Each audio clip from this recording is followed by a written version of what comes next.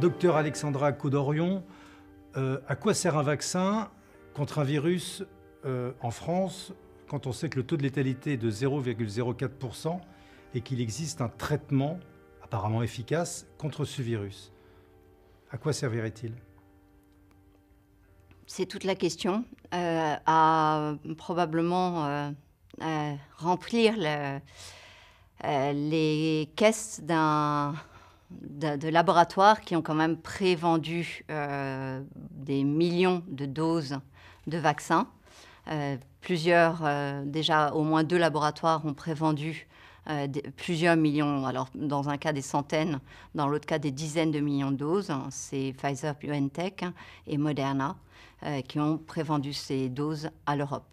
Donc effectivement, on peut se dire que face à un tel enjeu financier, il est difficilement envisageable que nous ne soyons pas confrontés de plein fouet à la récurrente idée que nous soyons vaccinés. Pour faire tomber cette euh, idée de vaccination, il faudrait que euh, les, finalement tous les, spécialistes s'accordent à dire que l'épidémie est terminée. C'est plus compliqué qu'on ne le croit parce que pour parler d'une d'une fin d'épidémie, en vérité, il n'y a pas de définition propre. Donc, euh, les quelques morts euh, auxquels on assiste euh, en France depuis presque, enfin, depuis juin, eh bien, sont-ils que des soubresauts d'une épidémie déjà terminée ou sont-ils une épidémie toujours en cours? Et si on va sur cette ambiguïté, eh bien, à ce moment-là, on peut passer en fast track c'est-à-dire en version mode accéléré, des euh, processus de euh, développement du vaccin.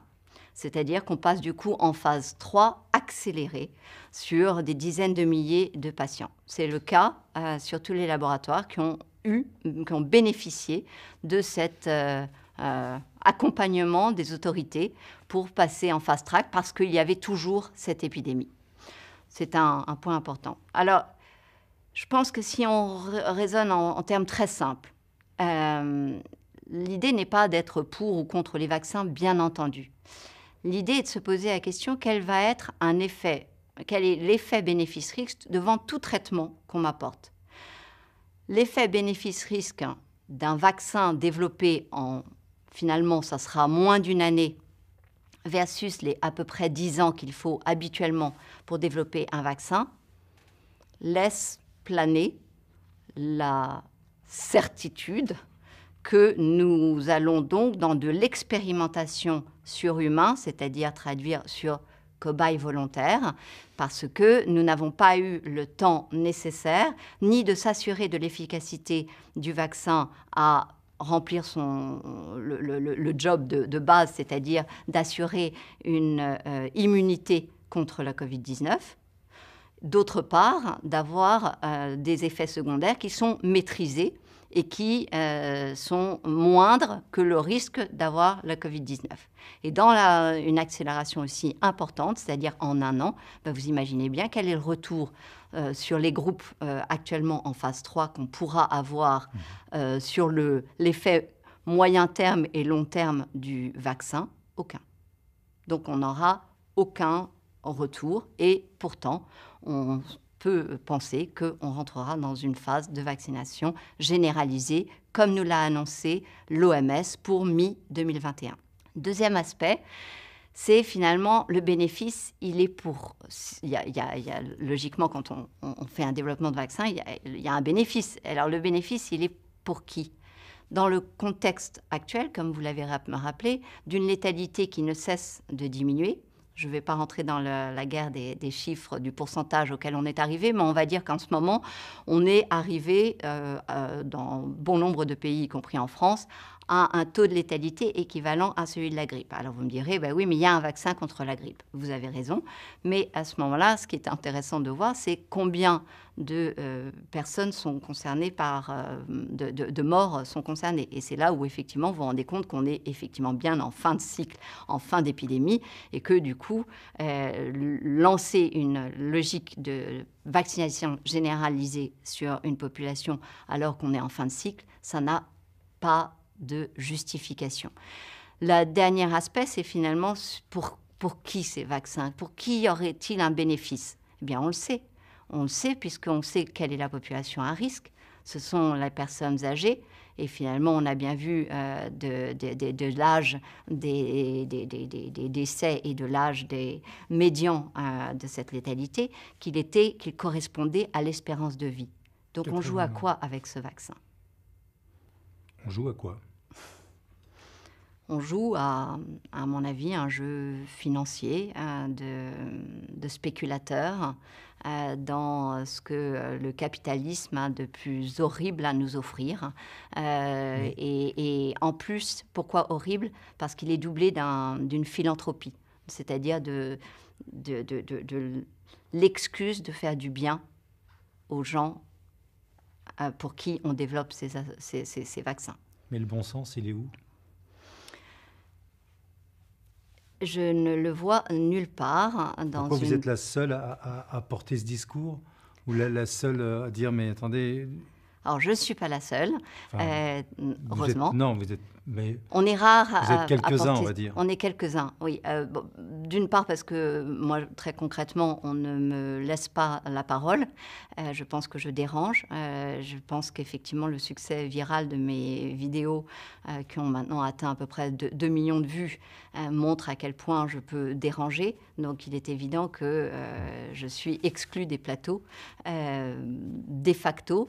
Il y a aussi beaucoup d'informations fausses. Euh, alors, à l'ère des, des, check news et des fact news, je ne peux que sourire du fait que les, les, ceux qui disent euh, vérifier les, qui sont conspirateurs sont visiblement euh, très mal informés ou en tout cas ne vérifient pas euh, leurs informations, c'est-à-dire qu'en fait ils me prêtent des propos que je n'ai pas tenus. Et, voilà, donc c'est, on est dans une ère où on voit bien que la parole n'est, n'est plus autorisée.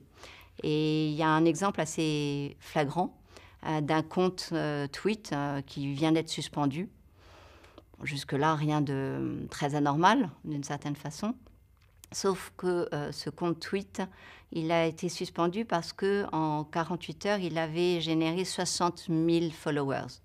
C'est un mouvement un peu inhabituel, euh, mais c'est pas forcément inhabituel vu euh, à qui appartient ce compte tweet. Il appartient à une chercheure chinoise euh, qui est donc Li Meng Yan, et Yann avait annoncé, je l'écoutais avec euh, peu d'intérêt jusqu'à présent, je dois l'avouer, euh, elle avait annoncé qu'elle avait les preuves, euh, qu'elle allait apporter des preuves de la construction du SRAS-CoV-2 dans un laboratoire. à force de crier au loup, vous savez comment ça se passe, donc voilà, donc j'étais relativement, on va dire... Prudente prudente, oui, euh, et même pas curieuse. non, même pas curieuse, euh, parce que je trouvais qu'il y avait beaucoup d'effets d'annonce. Et puis, euh, elle a sorti finalement ce, ce, papier, qui est un, papier d'une toute nouvelle faction sur le plan scientifique, parce que c'est c'est pas vraiment une publication scientifique, c'est une publication à l'envers, un, papier très original qui fait la démonstration des différentes étapes qui peuvent être mises en œuvre pour construire un SRAS-CoV-2 dans un laboratoire et à peu près n'importe quel laboratoire euh, qui est équipé euh, convenablement de biologie moléculaire, mais qui aussi a euh, accès à des séquences euh, de euh, virus de chauve-souris euh, à la base. C'est énorme. Ça, veut dire que là, si je comprends bien, avec ce petit tableau, on a la possibilité de créer un virus. de créer le SRAS-CoV-2. C'est-à-dire qu'elle nous donne la. SRAS-CoV-3. Enfin, on peut. Euh, oui, enfin là, là euh, toutes les étapes avec euh, les, matrices sur lesquelles elle s'appuie permettent véritablement de, d'expliquer, en tout cas, de donner une hypothèse, puisque vous savez que depuis le début, j'ai toujours été très prudente. J'ai toujours dit qu'il y avait deux hypothèses et qu'on ne pourrait jamais invalider l'une ou l'autre, parce que pour avoir des preuves, il faudrait avoir des, des, photos de cahiers de laboratoire. Et ça vous semble crédible, ça? Voilà, c'est-à-dire qu'en fait, en lisant euh, cet article dans les détails, euh, eh bien, euh, les différentes étapes sont hautement réalisables, réalistes, et au niveau de la séquence, in fine, on arrive bien à la séquence du SRAS-CoV-2 en partant de façon originale sur une matrice qui n'est pas du tout la matrice sur laquelle tous les scientifiques s'appuient pour dire ah, l'origine est naturelle parce qu'il vient d'une euh, chauve-souris et c'est une séquence qu'on appelle RADG13. Euh, et, en fait, ce n'est pas sur cette séquence qu'elle s'appuie, mais sur une séquence qui a fait l'objet d'un papier dans Nature en février 2020 et qui a eu un erratum après. Alors sur euh, la première version de l'article, il parlait du, ZC45. C'est après qu'ils sont partis sur une autre euh, séquence. Euh, et, finalement, en reprenant cette séquence naturelle du ZC45, réellement de chauve-souris, qui pour le coup n'est jamais passé à l'homme, et en subissant quelques étapes, eh bien, on va faire un espèce d'engineering avec euh, des, techniques très connues de biologie moléculaire. Euh, l'introduction de sites de restriction, ça ne vous dit rien, mais c'est juste des espèces de petits endroits où on peut couper, on peut insérer euh, les différentes séquences que l'on veut. On va faire un petit peu d'amplification. Il y a ce fameux site de clivage par la furine dont je vous avais déjà parlé il y a quelques mois. Et puis, en fusionnant finalement euh, avec une autre étape, on arrive euh, très naturellement. Alors l'expérience, à mon avis, prend à peu près six mois, si jamais dans un, conduite dans un laboratoire euh, avec une chance raisonnable de différentes étapes. Ça prend un petit peu de temps, mais voilà. donc je trouve que c'est très intéressant parce que si cela ne constitue pas la preuve de l'origine euh, d'une origine engineered, euh, faite euh, dans un laboratoire. En tout cas, ça donne une base absolument solide pour la construction d'un tel virus. Et le fait que son compte ait été suspendu accrédite le fait qu'elle n'a peut-être pas dit que des bêtises. Oui, en fait, c'est véritablement euh, lorsque son compte a été suspendu que euh, j'ai commencé à regarder euh, du coup son effet annonce de près et, du coup à éplucher cette publication. Parce que ça fait longtemps quand même qu'elle a, qu'elle a déjà, enfin qu'elle disait que effectivement que ce virus serait non, pas un non pas un accident, mais aurait été vraiment d'origine humaine. Quoi. on, a eu tellement de, de falsificateurs que franchement, euh, quand on l'écoutait, euh, on se disait, bah, elle disait, j'ai la preuve, j'ai la preuve, puis elle la donnait jamais. Alors bon, euh, moi, je me disais, elle a les mêmes suspicions que euh, nous sommes nombreux euh, dans la communauté scientifique à avoir, simplement sur l'analyse génétique au niveau de, l'analyse de, de, chaque nucléotide et où on voit des insertions qu'on ne s'explique pas euh, et qui n'existent encore une fois dans aucun autre coronavirus. Donc nous, on voyait ces séquences qui étaient des gains de fonction. C'est très rare d'avoir une séquence longue comme ça qui apparaît comme par magie entre deux protéines et qui apporte un gain de fonction. Donc on, avait quand même des suspicions fortes. On, savait bien que c'était quelque chose de très curieux. Donc avec ce petit... Euh, ce manuel. ce manuel du parfait chimiste, du, parfait biologiste moléculaire. Oui, du microbiologiste moléculaire. Enfin bref, avec euh, ce dessin, ce schéma, est-ce qu'on peut reproduire aujourd'hui, faire un, nouveau virus qui serait euh, de la même lignée que le, que le SRAS-CoV-2, mais qui serait différent et qui, aurait toute sa charge virale. Est-ce qu'on, l'idée, c'est est-ce qu'on pourrait aujourd'hui injecter, si on a envie, d'injecter un nouveau virus qui serait facilement détectable comme un coronavirus particulier, mais qui aurait une charge virale importante et qui pourrait causer le même nombre de, décès, euh, ou que pourrait causer cette panique dont se nourrit aujourd'hui nos dirigeants? C'est euh, comme ça, enfin oui, c'est à partir de ces techniques de PCR, de génétique inverse, que sont construits euh, les virus euh, qui, sont, qui font l'objet d'études, en général dans des laboratoires militaires. Et, c'est vrai que hum, dans les choses qui, qui, qui, qui, sont remarquables, c'est qu'on voit euh, l'émergence, euh, la planification de laboratoires P3 qui sont prévus en construction dans les principales villes chinoises. Donc il y, a tout lieu de penser qu'effectivement, on est véritablement rentré dans une logique de guerre. alors là, virologique ou bactériologique, je, n'en hmm. sais rien. Je, parce que parce que il n'y a pas de justification euh, à, équiper d'un laboratoire P3 euh, les grandes villes chinoises de la sorte. Donc, vous voyez, il y a, y a, des choses qui sont toujours euh, étonnantes, voilà.